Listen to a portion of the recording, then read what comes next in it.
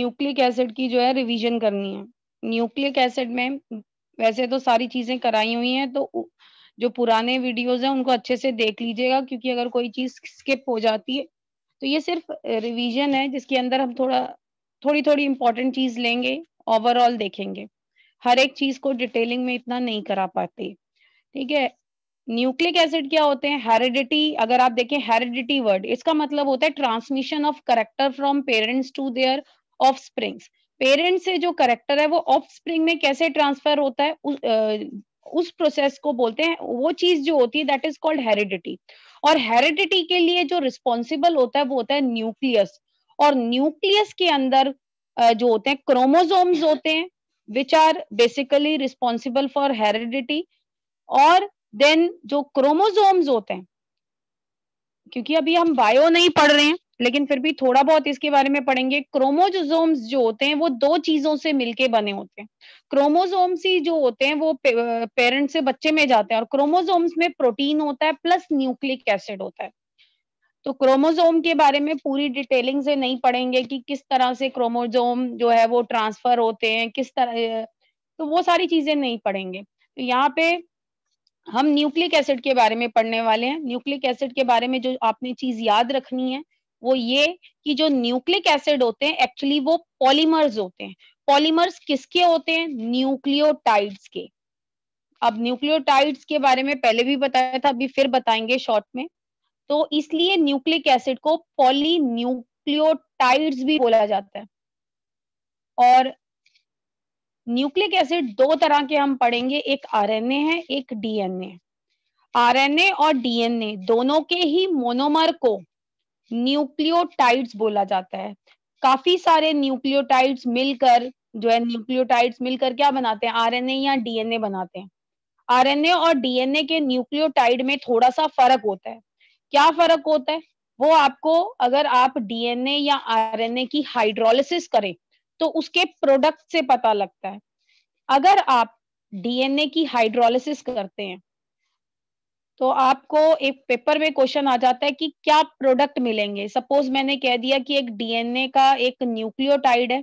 चाहे बोल दें डीएनए की हाइड्रोलिसिस कर रहे हैं या डीएनए के न्यूक्लियोटाइड की हाइड्रोलिसिस कर रहे हैं तो आपको क्या प्रोडक्ट मिलेंगे? ये क्वेश्चन आता है। जैसे कि आपने देखा होगा ना कार्बोहाइड्रेट में क्वेश्चन आता है कि सुक्रोज की हाइड्रोलिसिस के बाद क्या मिलता है? माल्टोस की हाइड्रोलिसिस के बाद क्या मिलता है ना लेक्टोस की। ऐसे ही डीएनए के न्यूक्लियोटाइड के बारे में अगर बोल दें तो क्या मिलता है? डीएनए जो है, उसका जो ये न्यूक्लियोटाइड होता है, जो एक छोटी यूनिट होती है डीएनए की, वो तीन चीज़ों से मिलके बनी होती है। एक तो उसमें पेंटोस शुगर होती है, पेंटोस। पेंटोस का मतलब जिसमें पाँच कार्बन होते हैं। अच्छा एक चीज़ और ध्यान रखिएगा, पेपर में एक क्वेश्चन आ जाता है कि डीएनए में जो शुगर प्रेजेंट होती है, वो किस तरह की शुगर है? तो एक जगह पे मैंने एमसीक्यू देखा था, उसमें लिखा हुआ था ऑप्शंस में it is aldo aldo pentose aldo pentose का मतलब क्या हुआ? इसमें एल्डिहाइड ग्रुप है और इसमें क्या है? पाँच कार्बन है। तो इस चीज़ का ध्यान रखना है। कई बार वो इस तरह से घुमाकर क्वेश्चन बोल देते हैं।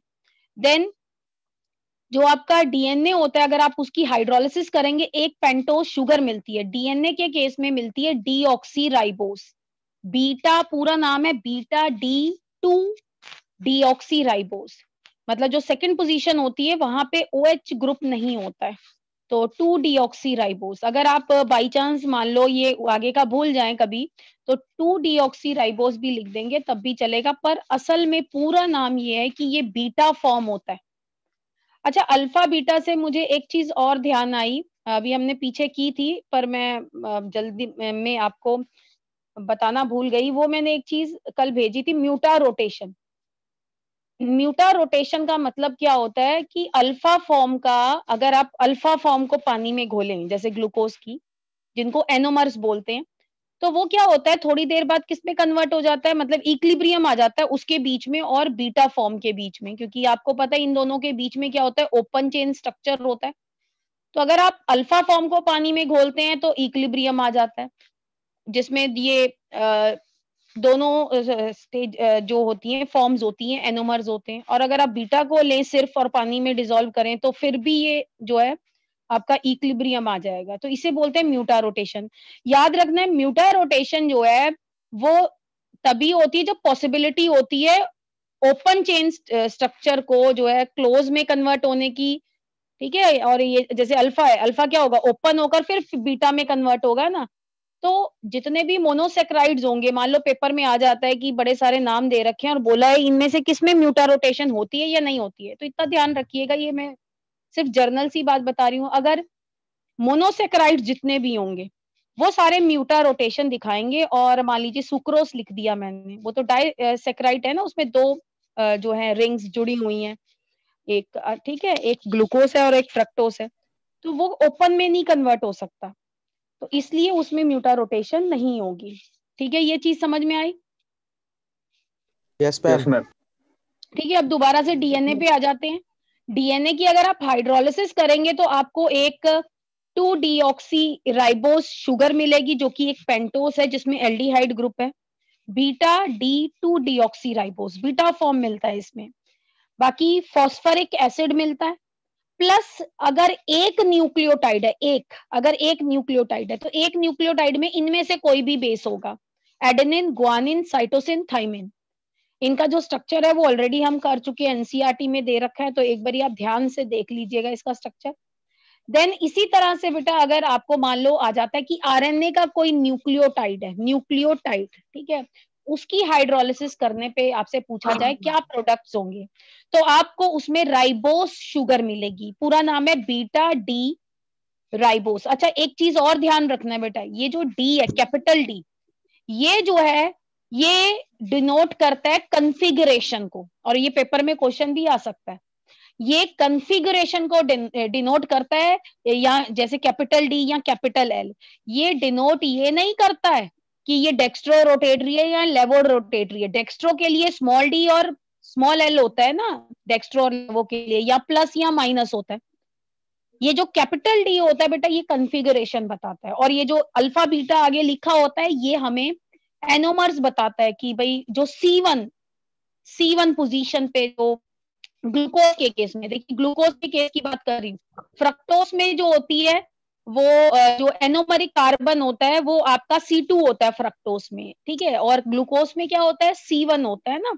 तो ये थोड़ा सा ध्यान रखिएगा। जहाँ पे एल्डिहाइड या कीटोनिक ग्रुप जिस पोजीशन पे प्रेजेंट है ना, जब वो रिंग फॉर्म में कन्वर्ट होगा तो वो वाला कार्बन जो होता है, वो एनोमरिक कार्बन होता है। तो ग्लूकोज में सी वन होता है, दूसरे में फ्रक्टोस में सी टू होता है एनोमरिक कार्बन जो रिंग फॉर्म में जब कन्वर्ट होता है तो ओ OH ग्रुप अगर आपका राइट साइड में है तो अल्फ़ा अगर लेफ़्ट साइड में है तो अगर ओ OH राइट साइड में हो गया तो अल्फ़ा अगर ये ओ OH लेफ़्ट साइड में हो गया तो बीटा ठीक है?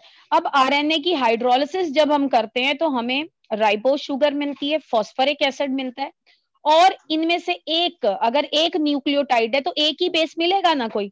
या तो एडेनिन ग्वानिन साइटोसिन और यूरासिल अब देखिए डीएनए में फ़र्क क्या आ गया? भाई, वहाँ थाइमिन है डीएनए में, यहाँ यूरासिल है।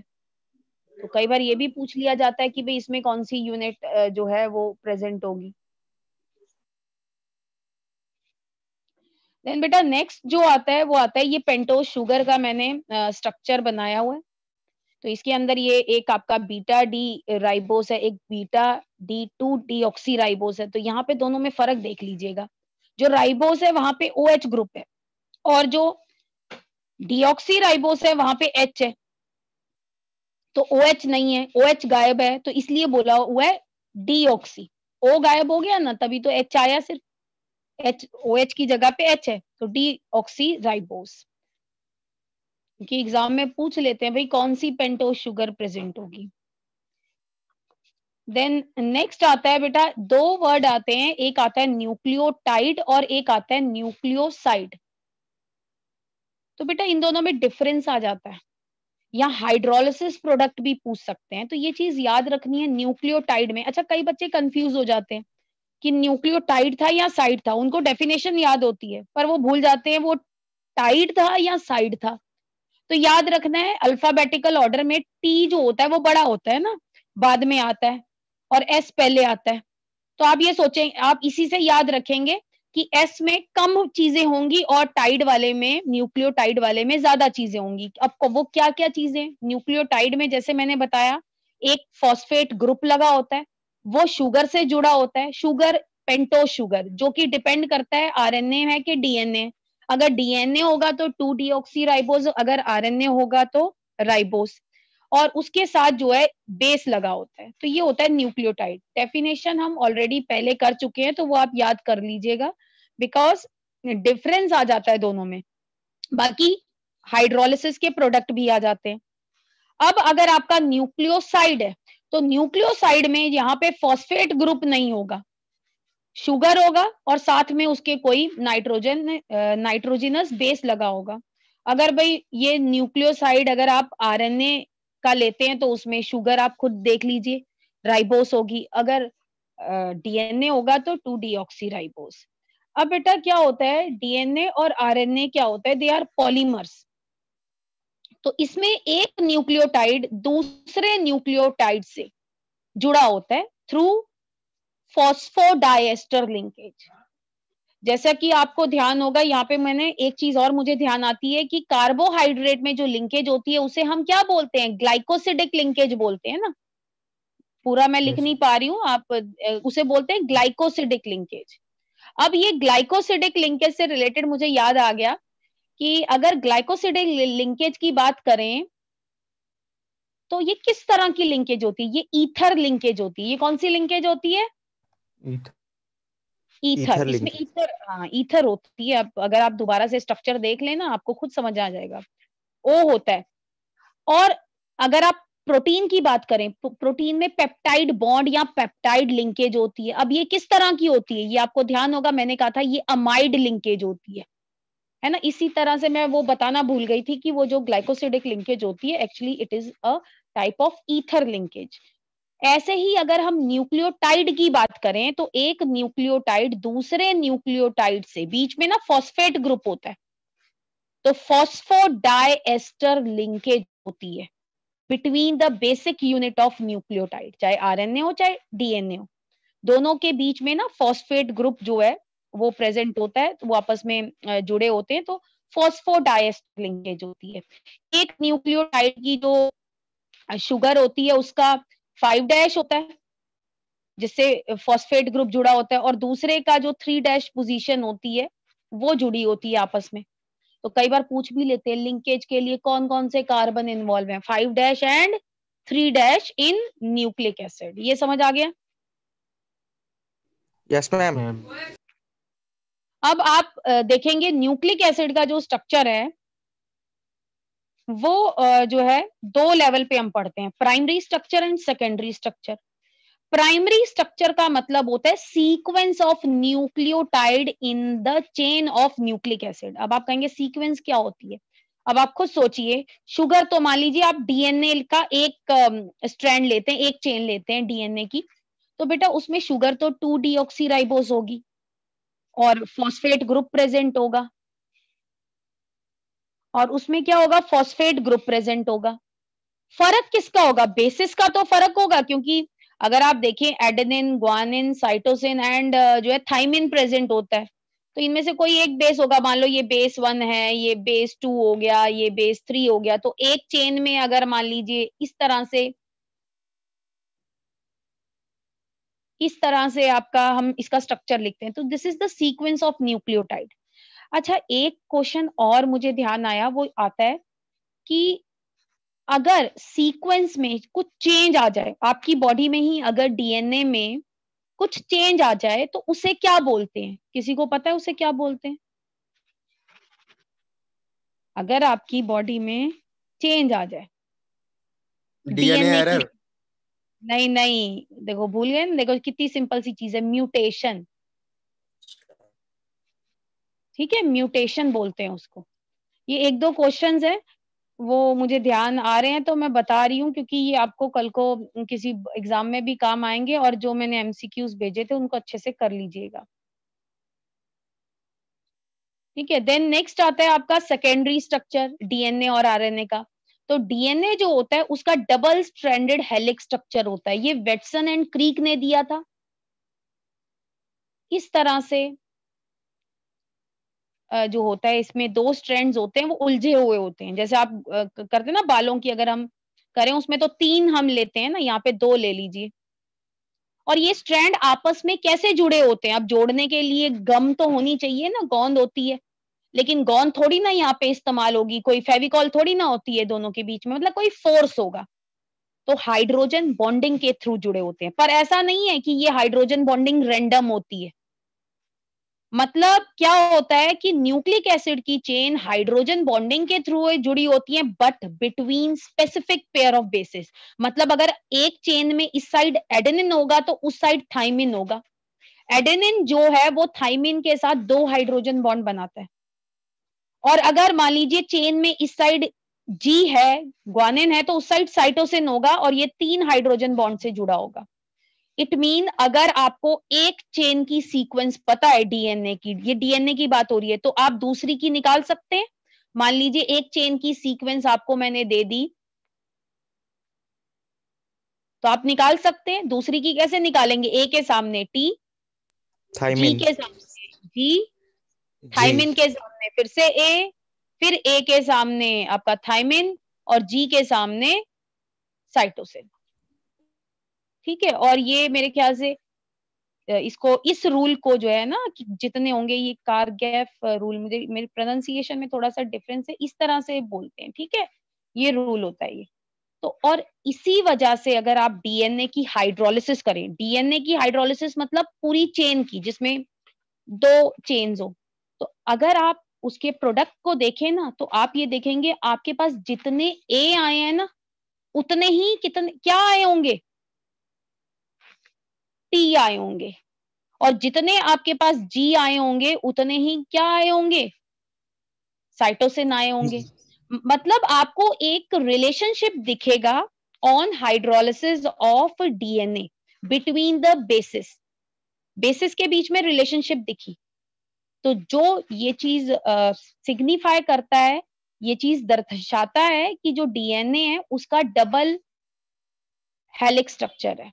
तो अगर मान लीजिए पेपर में आ जाता है कि भाई एक ऊपर लिखा हुआ है कि वही हमें जितने ए मिले, उतने बी जो है जितने ए थे, उतने ही टी मिले डीएनए की हाइड्रोलिसिस पे, और जितने जी थे, उतने ही सी मिले। मान लीजिए ये असर्शन आती है। उसके नीचे लिखा हुआ है बिकॉज़ जो न्यूक्लिक एसिड जो चेन होती है they are wound about each other and held together by hydrogen bond between specific pair of bases तो इसका मतलब ये तभी तो आया क्योंकि उनके बीच में स्पेसिफिक पेयर के बीच में हाइड्रोजन बॉन्डिंग बन रही थी। मतलब जो नीचे रीजन दिया हुआ है, वो ऊपर वाले का रीजन है। तो दोनों ही स्टेटमेंट करेक्ट है। और दोनों में जो रीजन है, वो रीजन दिया हुआ है। ठीक है? इस तरह से आती है सर्शन रीजनिंग फिर एक और क्वेश्चन आता है कि भाई डीएनए के स्ट्रैंड कॉम्प्लीमेंट्री होते हैं। भाई कॉम्प्लीमेंट्री क्यों होते हैं? इसलिए होते हैं कि आइडेंटिकल नहीं होते। आइडेंटिकल का मतलब होता है कि ए के सामने ए होगा। नहीं आइडेंटिकल नहीं कॉम्प्लीमेंट्री होते हैं। क्यों होते हैं?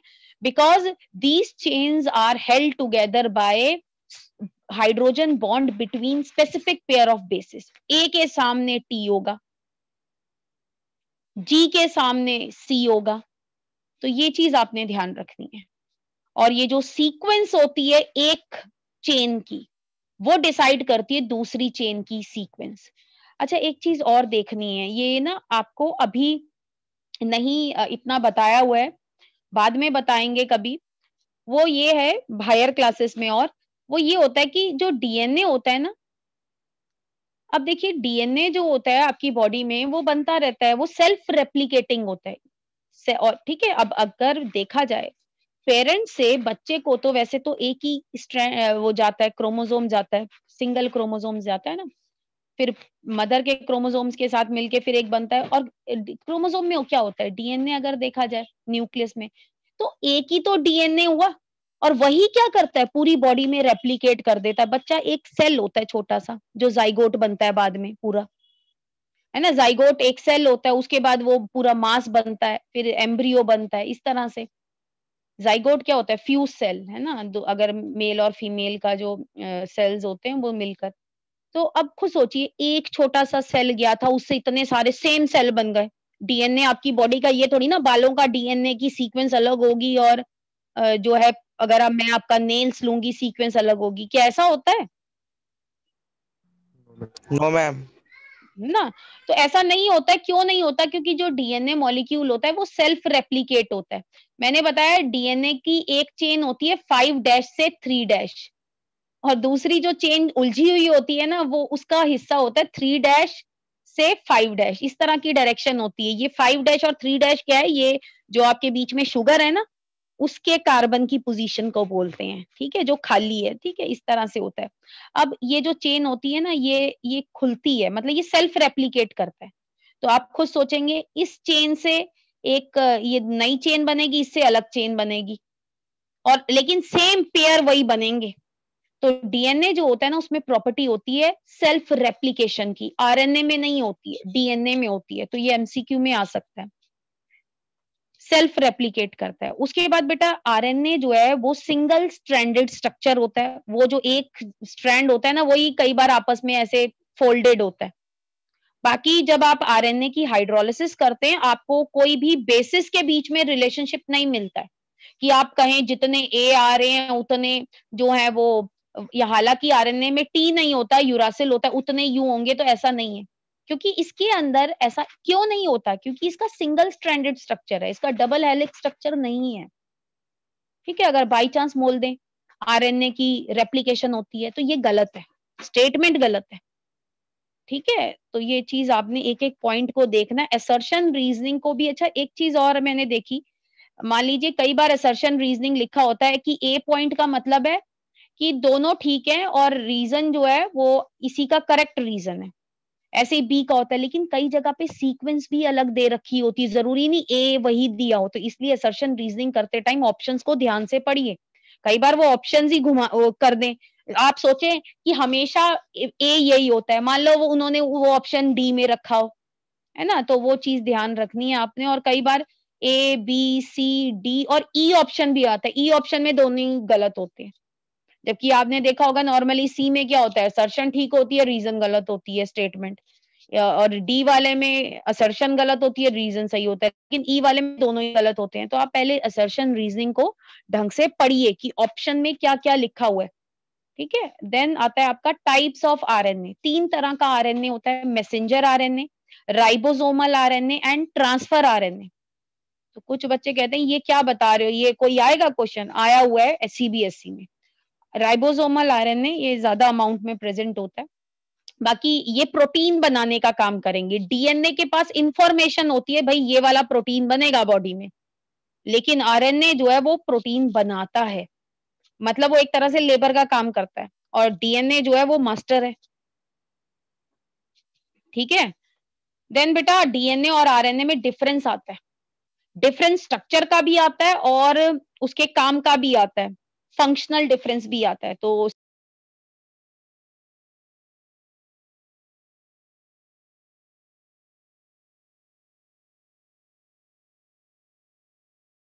मैम आपका माइक ऑफ़ सॉरी। पहले तो नहीं था ना ऑफ़ नो मैम नो मैम यही आके हुआ है। हाँ ठीक है डीएनए हाँ बेटा डीएनए और आरएनए में जो है डिफरेंस आ जाता है। एक तो स्ट्रक्चरल डिफरेंस आता है दूसरा फंक्शनल डिफरेंस आता है। फंक्शनल मतलब काम करने में कि दोनों का काम में क्या फ़र्क होता है। तो डीएनए के स्ट्रक्चरल डिफरेंस में आप लिख सकते हैं कि इसमें शुगर मोइटी जो होती है जो शुगर की यूनिट प्रेजेंट होती है जिससे ये बना होता है वो जो होती है वो होती है beta D two D ribose और आरएनए में वही होती है बीटा डी राइबोस देन जो नाइट्रोजिनस बेस होता है डीएनए में, वो एडेनिन ग्वानिन साइटोसिन थाइमिन हो सकता है। इसमें एडेनिन ग्वानिन साइटोसिन यूरासिल हो सकता है। अब इन सबके ना स्ट्रक्चर ज़रूर कर लीजिएगा, एक बार निगाह मार लीजिएगा। मान लो सीबीएसई में काम ना है कल को दूसरे पेपर्स में काम आ सकते हैं, ठीक है? Then DNA has double stranded helix structure RNA का सिंगल स्ट्रैंड स्ट्रक्चर होता है। डीएनए के अंदर सेल्फ डुप्लीकेशन या सेल्फ रेप्लीकेशन की जो है कैपेबिलिटी होती है, पर आरएनए में नहीं होती है। देन आपका जो डीएनए है, उसके पास मैसेज होता है for the synthesis of protein coded message होता है कोड की फॉर्म में होता है। अब वो पूरा कैसा मैसेज होता है, किस तरह से इंफॉर्मेशन ट्रांसफ़र होती है, वो हम ट्वेल्थ में नहीं पढ़ते हैं। बाकी जो प्रोटीन है, वो अलग अलग जो है आरएनए बनाते हैं। उसके बाद आता है कि जो डीएनए है, वो चेफली न्यूक्लियस में पाया जाता है और ये जो आरएनए है, ये साइटोप्लाज्म में पाया जाता है। मैं चीफली बोल रही हूँ, कुछ बाहर भी होगा, लेकिन मेन यहीं पे पाया जाता है न्यूक्लियस के अंदर, और आरएनए जो है, वो साइटोप्लाज्म में पाया जाता है। बाकी जो डीएनए होता है it is responsible for heredity while protein is involve in protein synthesis तो ये एक पॉइंट और है, यहाँ ऊपर लिखा हुआ है मैंने। DNA is responsible for heredity और वो जो है इट इज़ रिस्पॉन्सिबल जो है for protein synthesis it is involve in involve बोल रही हूँ मैं आरएनए ना। अच्छा एक चीज़ और है, कुछ बच्चे क्या करते हैं पेपर में गलत करते हैं। क्या गलत करते हैं? मैंने यहाँ पे लिखा है DNA is capable of self duplication अब आरएनए का भी डिफरेंस जो है, वही लिखी है ना कि उसमें होगी या नहीं होगी। और क्या करेंगे? इसके सामने मान लो ये लिख दिया। तो ये गलत है। इसके सामने वही चीज़ लिखी है ना? अगर मैं यहाँ कह रही हूँ, मैं कह रही हूँ, ये दोनों बच्चों में क्या डिफरेंस है? ये इंटेलिजेंट है, ये या ये ज़्यादा इंटेलिजेंट है, ये थोड़ा सा कम है। तो दोनों में ये फ़र्क हुआ, मैं कहूँ, ये इंटेलिजेंट है, वो लंबा है। ये कुछ कनेक्शन नहीं बैठा ना तो डिफरेंस जो है, वो दोनों आमने सामने वो एक जैसे होने चाहिए। और दोनों डिफरेंस सिंपल डिफरेंस लिखिए देन बेटा, ये क्वेश्चंस आपको मैंने बताए थे, इन सबकी प्रैक्टिस कर लीजिएगा। मान लीजिए आपके पास टाइम नहीं है इनकी प्रैक्टिस करने के लिए, जिन बच्चों के पास ये नहीं है तो इसका जो है ऐसे ही स्क्रीनशॉट ले लो। ठीक है, फिर इसे, अब मान लो किसी बच्चे के पास जो है इतना टाइम नहीं है इसको करने का तो मैं यहाँ पे ये नहीं आपको कह रही हूँ कि इसको जो है आपने बहुत ज़्यादा डिटेल में करना है। आप सिर्फ़ रीड आउट कीजिए। अच्छा व्हाट इज़ इनवर्ट शुगर मैंने ऐसे क्वेश्चन कराया नहीं है ये, लेकिन रिवीजन में बताया था कि product of hydrolysis of sucrose is called invert sugar और सुक्रोज के हाइड्रोलिसिस प्रोडक्ट में होता क्या है? होता है ग्लूकोज एक ग्लूकोज और एक फ्रक्टोज मतलब equimolar solution of glucose and fructose equal quantity में होता है ना? तो इस इसको इनवर्ट शुगर क्यों बोलते हैं? Because there is change in rotation कौन सी रोटेशन ऑप्टिकल रोटेशन मतलब जो सुक्रोज जो है, वो क्या बनता है? वो आपका जो होता है, मैंने आपको बताया था, वो डेक्स्ट्रो रोटेटरी होता है। लेकिन जो उसका हाइड्रोलिसिस प्रोडक्ट बनता है, जिसमें equal amount of glucose and fructose present होता है, वो लीवो रोटेटरी होता है, क्योंकि फ्रक्टोज की जो लीवो रोटेशन होती है, वो ज़्यादा होती है। अच्छा एक चीज़ और मैं ना जल्दबाजी में बताना भूल गई, वो भी बता देती हूँ। ये जो कैपिटल डी जो नेचुरल ग्लूकोज होता है, जो नेचुरल जो नेचर में पाया जाता है, वो होता है डी, कैपिटल डी कंफिगरेशन वाला। और आपको ध्यान होगा, मैंने आपको कहा था, हम क्या करते हैं, ये डी है या एल है, ये पता लगाने के लिए कार्बोहाइड्रेट्स को कंपेयर करते हैं ग्लिसरेल्डिहाइड से। तो नीचे वाला, जो नीचे वाली पोजीशन होती है ना, जैसे ग्लूकोज में जो सबसे नीचे वाली, ऊपर वाली नहीं, सी वन नहीं जो नीचे आती है ना सी फाइव इस तरह से आती है लास्ट में सी फाइव आती है इधर। ये सी फाइव होता है ये सी सिक्स होता है। तो यहाँ का ओ OH देखा जाता है। इसको कंपेयर करते हैं ग्लिसरेल्डिहाइड से। अगर ये ओ OH जो है ये राइट साइड में है तो डी अगर ये लेफ़्ट साइड में होता उल्टी जगह पे होता ये जैसे ये मैंने तो इधर की तरफ़ होता तो ये क्या होता? एल होता। तो ये क्वेश्चन आ सकता ठीक है? अच्छा yes, एक चीज़ और इसी डी और एल से रिलेटेड और बता देती हूँ। आपको ध्यान होगा अमीनो एसिड्स अमीनो एसिड्स जो नेचर में पाए जाते हैं नेचर में वो एल अमीनो एसिड्स होते हैं L L alpha amino acid उनमें एल कन्फिगुरेशन होती है। ठीक है? उनमें एल कन्फिगुरेशन होती है। तो वो चीज़ आपने ध्यान रखनी है। उसमें जो है ना हमारी एल कन्फिगुरेशन होती है। तो ये ये तो डी बना दिया मैंने। एल कन्फिगुरेशन होती है। क्योंकि ये कई बार पेपर में आ जाता है कि अमीनो एसिड की क्या कन्फिगुरेशन होगी एल होगी, क्या होगी? तो एल होती है नेचुरल की। सिर्फ़ फ्यू फिशेस वगैरह में जो है डी पाया जाता है, लेकिन वैसे एल होती है नॉर्मली अच्छा यहाँ पे हम इसको आप क्या करें? आप सिर्फ़ ना इसको रीड आउट कर लें खुद ही। अगर आपको लगता है कि इसका मैंने क्वेश्चन जैसे हम पेपर में लिखते हैं, उसी तरह से बोल बोल के लिख लीजिए। ज़रूरी थोड़ी ना कि आपने लिख कर इतने सारे क्वेश्चंस करने ही है। हवॉर स्ट्रक्चर बनाने के लिए बोले एनोमर्स का वो बना दीजिए। अच्छा एक क्वेश्चन आ जाता है ग्लूकोस में कौन सी रिंग प्रेजेंट होती है? मैंने साइक्लिक में कौन सी रिंग बताई थी? ये क्या होता है? पायरनोस रिंग ये कौन सी रिंग होती है? इसमें कितने कार्बन होते हैं? इसमें एक दो तीन चार पाँच कार्बन होते हैं। इसमें कितने कार्बन होते हैं? पाँच। पाँच। कार्बन होते हैं। और ऐसी अगर आप फ्यूरन रिंग की फ्यूरन रिंग की अगर बात करें फ्यूरन सॉरी गलत बना दी। जो फ्यूरन रिंग होती है अगर हम देखें फ्यूरन रिंग किसमें प्रेजेंट होती है? फ्रक्टोस में। इतने इसमें कार्बन कितने होते हैं? चार। चार। चार होते हैं। चार। ठीक है ये ये ध्यान रखना है। अगर मैं कहूँ कि ग्लूकोज का फ्यूरेनो स्ट्रक्चर होता है तो मैं सही बोल रही हूँ गलत बोल रही हूँ? गलत। गलत। गलत बोल रही हूँ ठीक? तो ये चीज़ ध्यान रखनी है। तो ये छोटी छोटी चीज़ों का आपने ध्यान रखना है। What are the present in maltose and lactose ये सारे क्वेश्चन हैं, ये सारे सिंपल हैं।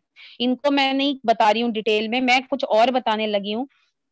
तो मैं आपको, मैंने पहले भी बताया था, ये दो क्वेश्चन हैं, ये वाले दो। ये वाले। An optically active amino acid a एक ऑप्टिकली एक्टिव अमीनो एसिड है ए अमीनो एसिड्स में अगर आप देखें जर्नल फॉर्मूला देखें कम से कम कितने कार्बन होते हैं? दो।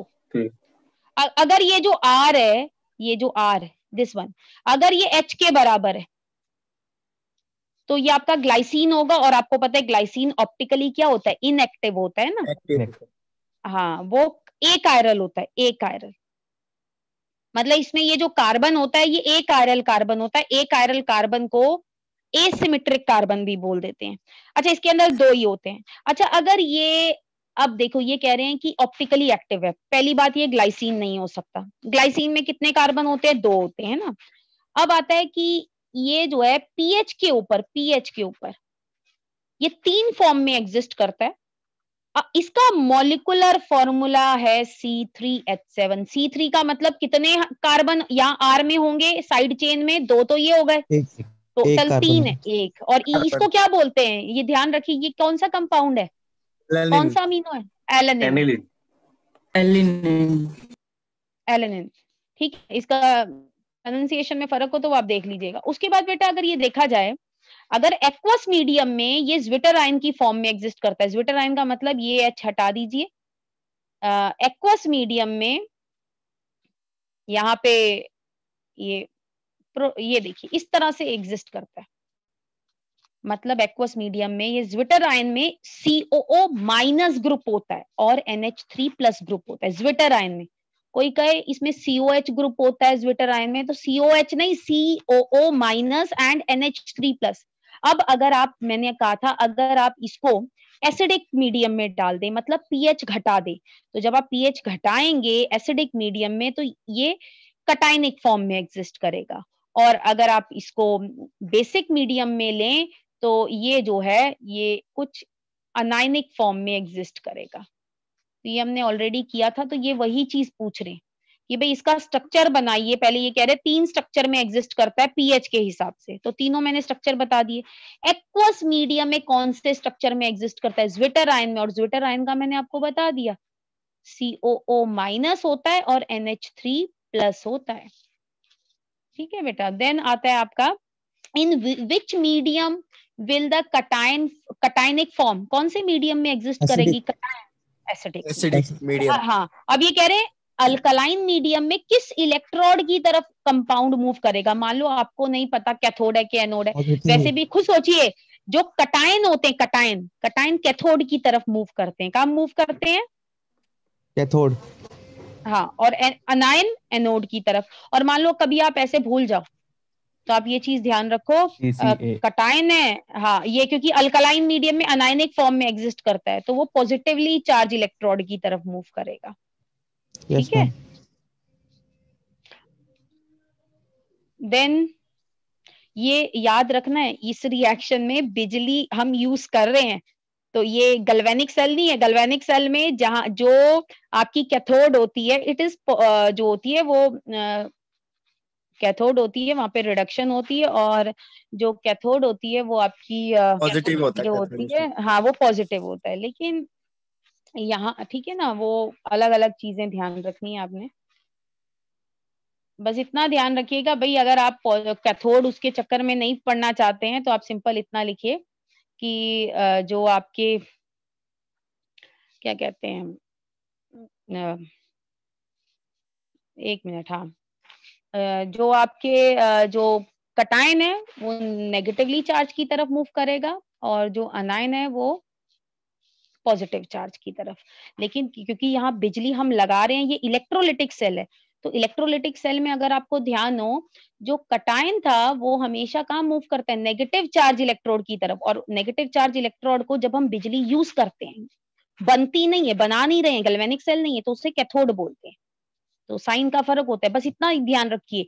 कटायन कैथोड की तरफ़, अनायन, एनोड की तरफ़। ठीक है? तो चार्ज पे अगर चार्ज लिखना चाहते हैं तो लिखिए। आप खुद सोचिए, जो, सॉरी, मैंने गलत लिख दिया था ना। कटायन जो है वो आपको पता है नेगेटिव की तरफ़ मूव करेगा। और नेगेटिव चार्ज को हम क्या बोलते हैं? मैंने कुछ गलत लिख रही हूँ मैं? हाँ नेगेटिव चार्ज की तरफ़। तो उसे हम बोलते हैं कैथोड। ठीक है, इस वाले केस में उल्टा होता है इलेक्ट्रोलिटिक सेल में। हाँ मैं ठीक लिख रही थी। तो अगर मान लो आप ये, आपके, ये कैथोड एनोड में वो भूल जाते हैं, वैसे तो सिंपल ही है कैथोड से कटायन और एनोड से, जहाँ पे हम इलेक्ट्रोलिटिक सेल की बात कर रहे हैं ना। तो बाकी ये आप लिख दो cation will move toward negatively charged electron और अनायन जो है वो पॉजिटिवली चार्ज की तरफ़ अब ये कंपाउंड ये क्वेश्चन बड़ा इंपॉर्टेंट है। ये कह रहे हैं एक कंपाउंड है जिसका मॉलिकुलर फॉर्मूला कुछ ये दिया हुआ है। अब आप कहेंगे ये जो कंपाउंड है कोई बच्चा ये कहे कि मैम ये आ, क्या कहते हैं ये ग्लूकोज भी हो सकता है और क्या हो सकता है? फ्रक्टोज भी तो हो सकता है। हो सकता है या नहीं हो सकता? Yes, और ग्लूकोज और फ्रक्टोज दोनों ही म्यूटा रोटेशन शो करते हैं। ये म्यूटा रोटेशन बनाई हुई है कि अल्फ़ा फॉर्म जो है अगर आप उसे पानी में घोलें तो इक्लिब्रियम आ जाएगा। अल्फ़ा फॉर्म का जो ऑप्टिकल रोटेशन है वो 111 होता है। बीटा का इतना होता है। लेकिन दोनों को अगर आप पानी में डिजोल्व करें ना एट द एंड इतनी रोटेशन दोनों की बराबर आ जाएगी। मतलब इसका मतलब कोई इक्लिब्रियम आ गया ओपन चेन स्ट्रक्चर के साथ। तो यहाँ पे ध्यान से देखिए प्लस है माइनस है ऑप्टिकल रोटेशन प्लस प्लस मतलब ये ग्लूकोज है। ठीक फ्रक्टोज नहीं है ग्लूकोज की बात हो रही है। एक अल्फ़ा फॉर्म है एक बीटा फॉर्म है। तो बाकी आपको बोल रहा है इन दोनों आइसोमर्स को क्या कहते हैं? क्या आंसर है? एनोमर्स क्या ये इनेंशियोमर है? No they are not enantiomer क्यों नहीं है? Because they are not super non superimpose mirror image relationship इनकी non superimposable mirror image relationship नहीं है। अब कह रहे हैं साइक्लिक स्ट्रक्चर बनाइए ए का। तो वही आपको ये वाला हैवॉर्ड स्ट्रक्चर बना दीजिए या फिशर बना दीजिए। ठीक है? ए में या ओ OH नीचे होगा, बाकी आप देख लीजिएगा। ये दो क्वेश्चन बड़े इंपॉर्टेंट है। बाकी ये लिखा है प्रोडक्ट बताइए हाइड्रोलिसिस के। किसके? डीएनए के न्यूक्लियोटाइड के, जिसमें थाइमिन है।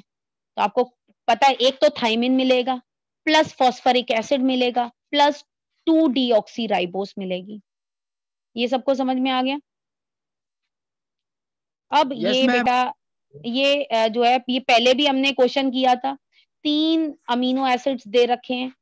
इनके ट्राईपेप्टाइड बनाइए और लिंकेज बताइए बीच की। तो ये क्वेश्चन आया भी हुआ था। तो ये तो या तो भाई एलेनिन हो सकता है या एस्पार्टिक एसिड हो सकता है लाइसिन हो सकता है। इस तरह से ज्वाइनिंग भी हो सकती है। इस तरह से भी हो सकती है ना लाइसिन पहले कर दूँ। पॉसिबिलिटीज yes, और भी और भी हो सकती है। हाँ। ए, एक और भी हो सकता है वो मैं बना नहीं पा रही हूँ वो भी हो सकता है पर इन्होंने पेपर में बोला दो बनाइए। और बोला है मार्क द पेप्टाइड लिंकेज तो बीच में मार्क भी कर दीजिए। देखिए आप क्या करें पेपर में इस तरह से भी लिख दें और बाद में फॉर्मूला भी लिख दें। लेकिन इस तरह से लिखने में क्या होगा? मान लो आपको पूरी इसके मार्क्स तो मिल ही जाएँगे ना और बाकी आपने मार्क करना है तो ये देखिए ये मैं मार्क नहीं यहाँ पे किया आप इस तरह से मैं मार्क कर दीजिएगा डैश डैश से ऐसे। ठीक है बाकी हमारा ये चैप्टर जो है कंप्लीट हो गया। तो ये हमने ऑलरेडी किया था बाकी पीछे से देख लीजिएगा और। और ये ज्विटर आयन की फॉर्म में एलेनिन को बना दिया हमने। ठीक है चलिए फिर ये आप इसकी अच्छे से प्रैक्टिस कर लीजिएगा।